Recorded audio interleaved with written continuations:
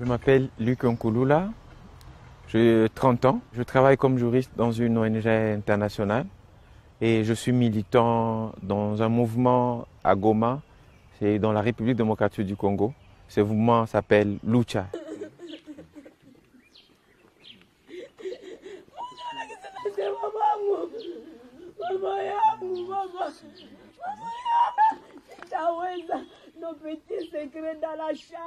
Jusqu'à ce matin du 10 juin 2018, deux flammes étaient encore visibles. Les faits dissimulaient encore les décombres de la maison du militant avéré de la lucha. Des témoins sur place ont signalé que les voisins proches de la victime ont tout fait pour la sauver, mais sans succès. Il a demandé à ce que l'on jette des pierres pour ouvrir la porte. Nous l'avons fait et ça n'a pas marché. Il a tenté de sortir à travers la fenêtre, mais personne ne l'a sauvé. Quelques minutes après, le feu a gagné de l'espace et toute la maison a brûlé. Tiqués par la mauvaise nouvelle, les amis de Likenkulula regardent profondément les débris de leurs camarades encore fumants. L'homme qui a bougé les pouvoirs de Kinshasa est parti en fumée. Son corps est presque non identifié dans les décombres de sa maison. Dans la ville de Goma, personne ne reçoit la véracité de l'incendie.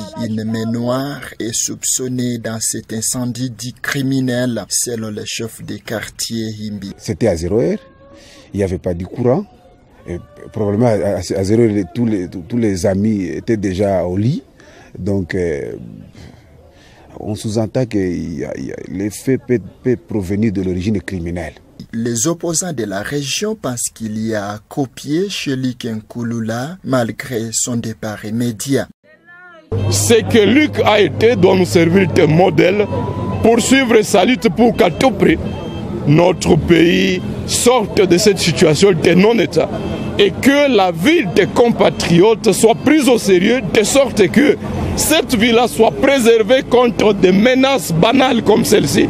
Et que si jamais cela pouvait arriver, qu'on réalise qu'il y a un État soucieux de la vie de ses citoyens qui peut chercher à savoir quelles sont les traces et prendre des mesures pour que plus jamais cela ne se produise. Les comités laïcs de coordination CLC et le mouvement d'élite pour le changement Lucha demandent aux autorités compétentes d'ouvrir une enquête pour que l'origine de cet incendie soit connue et que les auteurs soient déférés devant la justice. Selon sa famille, Likenkulula sera mise en terre ce mercredi 13 juin 2018. Nous avons fait une manifestation pour réclamer la sécurité, le rétablissement de la sécurité, et qui a abouti à des, arrestations. Pour moi, j'ai un modèle, c'est Lumumba.